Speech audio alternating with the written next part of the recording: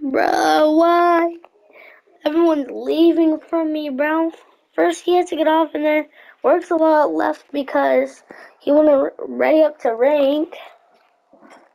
Man, they leaving just like two years ago.